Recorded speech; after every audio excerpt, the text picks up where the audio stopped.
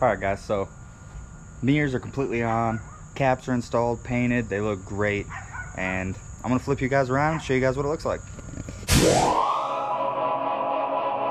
What's going on, guys? Welcome back to another video, or as always, if you're new here, welcome to the channel. I'm super, super excited about today's video. As you can see here, we got a big old box from Boost Auto Parts, and I'm gonna open it up and show you guys what's in it. Okay, so in this box, got some stickers. It's always the best right there. Boost Auto Parts was amazing enough to send me something I've wanted a long time for this truck, and that is newer style tow mirrors. They look good, they've got the turn signal in them, and the ones they sent me, pretty much they sent me the works. Like this thing's got almost every option that you can get.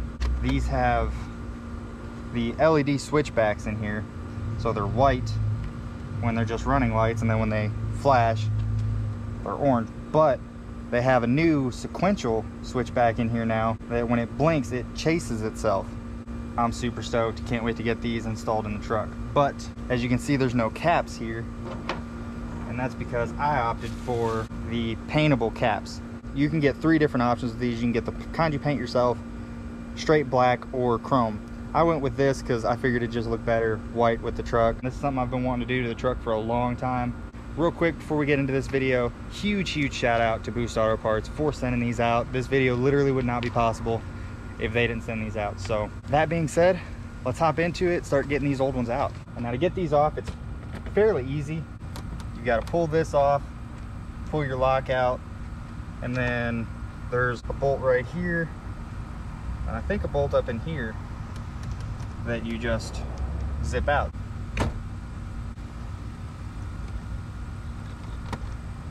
Okay, so that was easy enough. I could use my nails to do it. If you don't have nails, flathead screwdriver, but easily if you're using a flathead, you don't want to break any of these clips. Or if you have a plastic panel tool, that would probably be ideal. So now, all you're gonna have to do is remove this little bolt here, and then mine actually broke off because when I got these door panels, they didn't have it, but there will be a little brace and a bolt up in here behind this lock that you'll have to get out too. I believe they're seven millimeters. All right, that's out. That was a seven, by the way. You'll also want to pull this part off too. And then all you'll do is just slide up and pull out. And then the next thing, you're gonna want to undo all your window switches. All those are real simple. It's just kind have a little clip on it you push down. Okay, so now that all that's out, you're gonna have this little light it's to be connected down there and you'll have all your window switches. The only one that's a little bit complicated is the long black one, but all you got to do is just pull the little gray clip back and it unhooks itself and you can set your door panel to the side. So now that that's all unhooked, we can start focusing on the mirror. I want to pull this little, pretty sure it's like some sound deadening stuff, so I mean, don't want to lose that. Set that somewhere safe. And all these are going to be 10 millimeters. Because as I can already see, my mirror is starting to fall. So it is completely loose now. You can go ahead and get the old wiring. Got these two. Go, go ahead and get the old wiring unhooked. Alright. Now I can pull that old mirror out.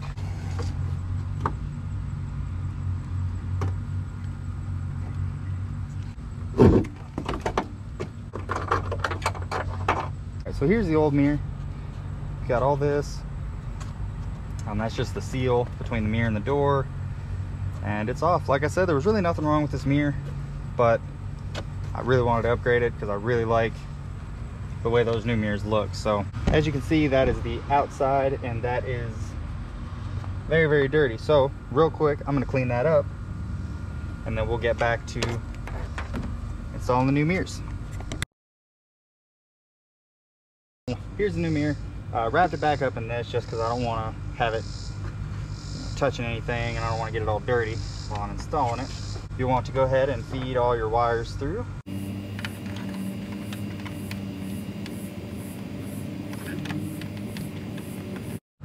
And real, right before I put this in, I didn't realize it, but I was going through the box and they actually do provide new hardware. So if you lose one of those old bolts, not that big of a deal. They do provide new bolts in the kit. So what I'm gonna do, since I don't have a partner, I'm gonna put this in and probably be easier if I would roll my window down, but I didn't think that far ahead. So as I'm supporting the mirror, I'm gonna come through thread on the top far enough that it starts to hold the mirror on. So here we are back on the inside, and I'm gonna go ahead and put on the rest of the bolts. All right. So now, the mirror itself is installed. So that's a win on that. It's on there, you can wiggle it. That is sturdy. Now we can get into the connections. I think the blue and black one plugs straight in to your door panel, and that will do your blinkers and all that. All that's plug and play. And then I believe this one the orange, white, and gray are for your floods and all that other stuff. Okay, so here's where it gets a little bit tricky. All of it's easy, plug and play, bolt in, bolt out. But if you have what I got, I have the running lights, which is the orange wire here, your reverse and dome, which is the white wire, and then your ground, which is the gray. So you're gonna wanna run the orange and white, which the white I'm gonna do something else with, and I'll show you here in a second, but you're gonna wanna run the orange up under your hood to the running lights fuse. They give you a fuse tap to run that through. I'm gonna get to running this through the firewall and you have a boot up under your firewall. I might get the camera up under there, see if I can't show you. But you've got a boot up in there you can go through, especially if you have like a sub or anything, you can snake that through where you have your sub. So first things first, you're gonna wanna run this down through your door and through your boot that seals off your door from the rest of the truck. And there are a couple different ways you can do this. So as you can see, I'm gonna try to end up going through right here and then up through this hole in the door, up through this, and then into here, which will be right behind this kick panel. Okay, so what I actually ended up doing was getting just a wire hanger and some electrical tape, just taping it up to the end of the wire hanger, shoving it through there, and then just pulling it out. That worked wonders. Just be careful not to damage the boot because if you start shoving it through there, it'll, you know, start causing nicks. But you're just careful, it'll be no problem. So all those are through. I can untape those, go ahead and shove it through there, and then pull it out from under there, and we'll go from there. Okay, so I went ahead and put that passenger on, so that way I got that, all that other wiring ran through to there. Now, what I'm thinking I'm gonna do, because this orange wire isn't quite long enough to go, because this is the wire for the running lights. It's not quite long enough to go through the firewall up into the fuse box. So what I'm gonna do is I'm just gonna splice it into this one. This is the driver side. First I'm gonna run it through to the engine bay and then figure out where's a good point to splice it. So that's what I'm gonna do with that one. All the other ones are plenty long enough. And then I'll show you guys how to wire in this guy too, because this is gonna be for, you can't see the mirror, for those little pods on the mirrors.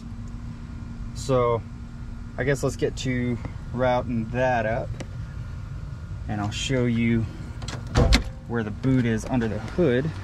Okay, so here we're under the hood. Our panel is right here. And if you can see where that red wire is coming out at, that's my amp wire. And right next to that is the boot for you know all your wiring to go inside your cab. So the same hanger that I used to wrap through there, I'm gonna use to shove down through that boot.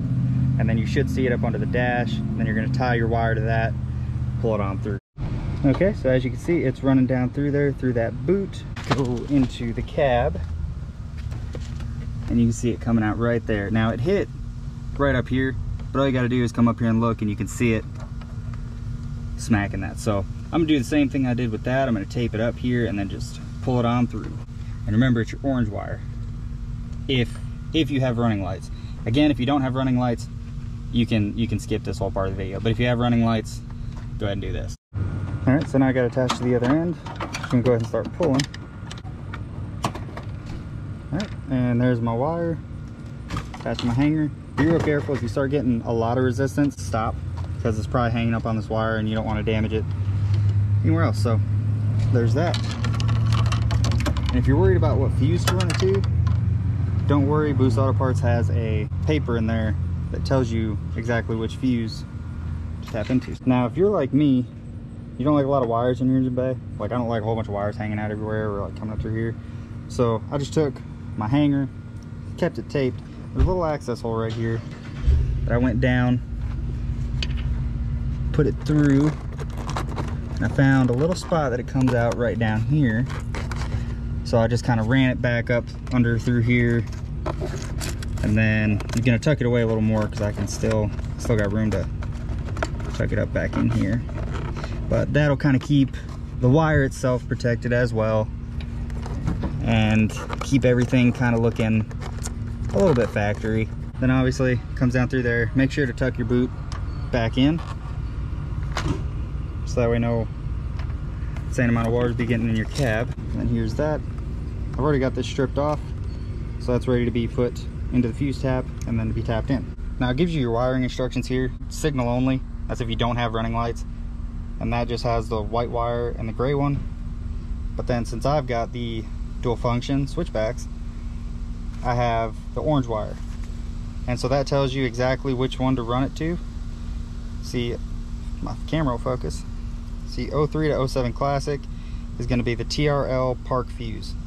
And then if you have an 07.5 to 14, it's going to be LT Park Fuse. So I'm going to go ahead and wire that in.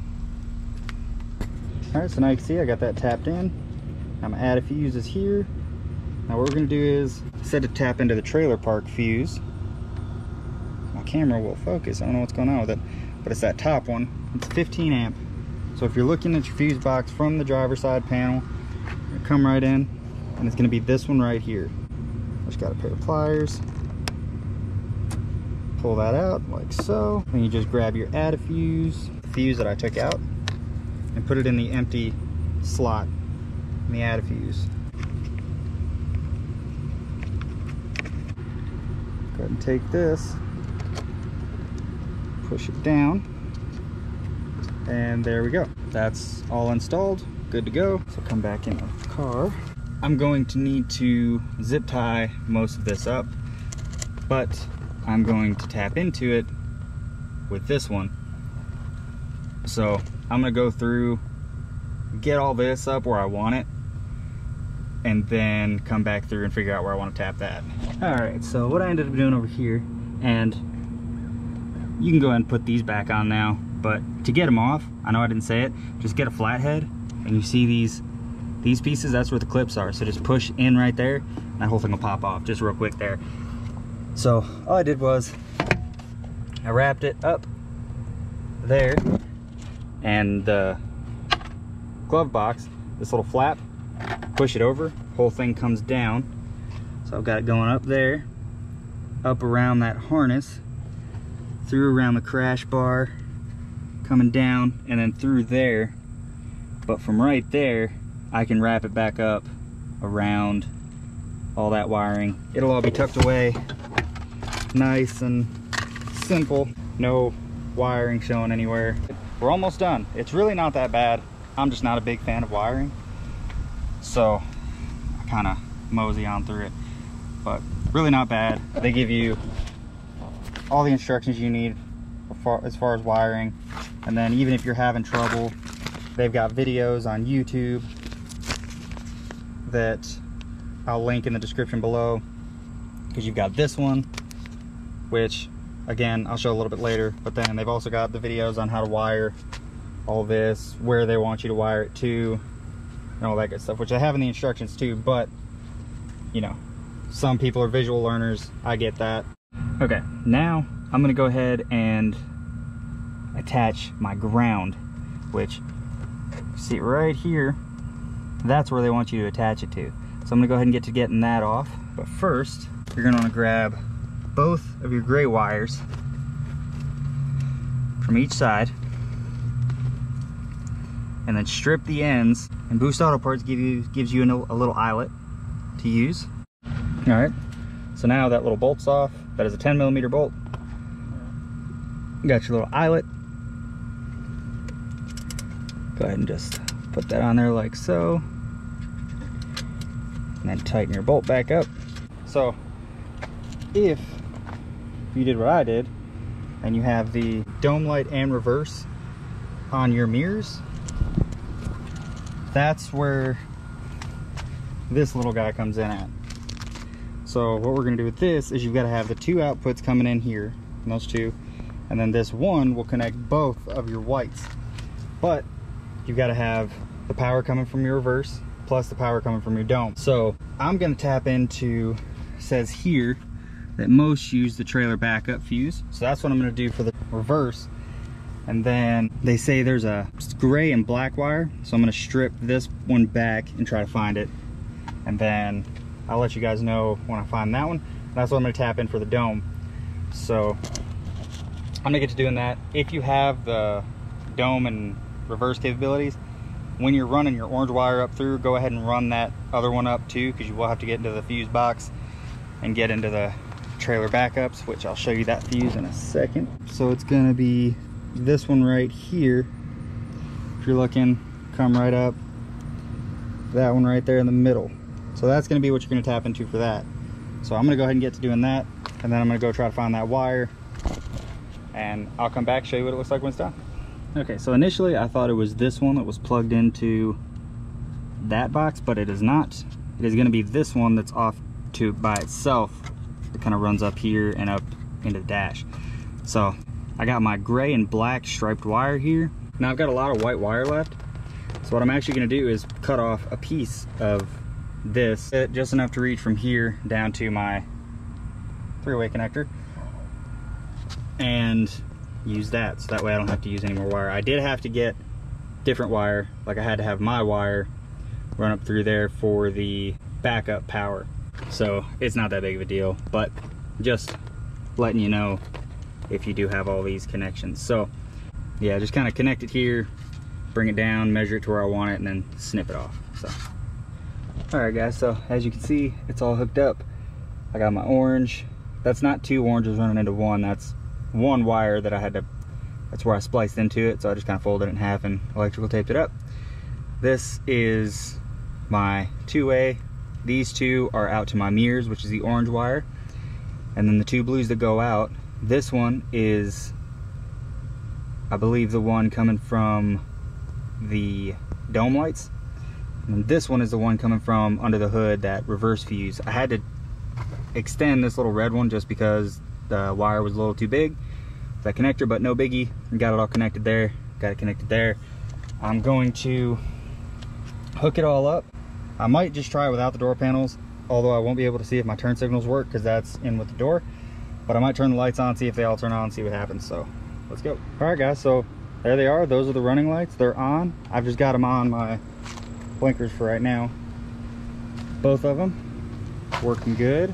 I'll show you the switchbacks here in a minute, but I mean, there it is. And I can also show my floods.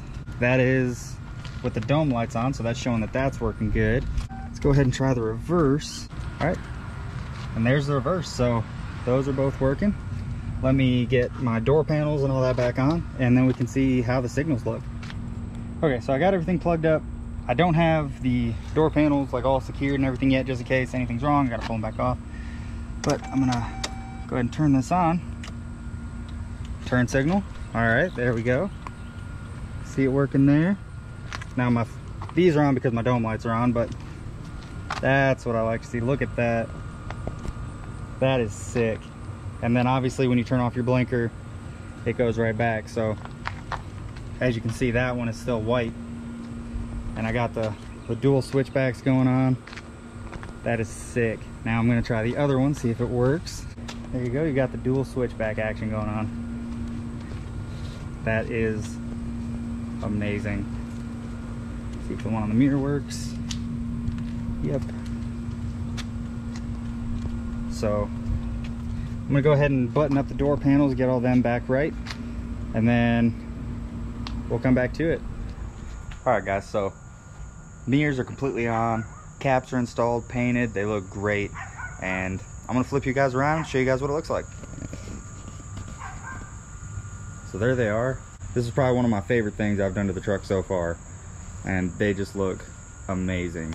I do notice they are a little tilted, like most are when you put these on. So I will be probably either making a video or maybe like a short on here of just leveling those out. It's not hard at all. So I'm gonna go ahead and show you guys what they look like lit up. And I will be showing a night shot too. It's just obviously not night right now. If you notice, when I open my door, that comes on. It also comes on in reverse. I have that little module under there. So go ahead and those are my running lights.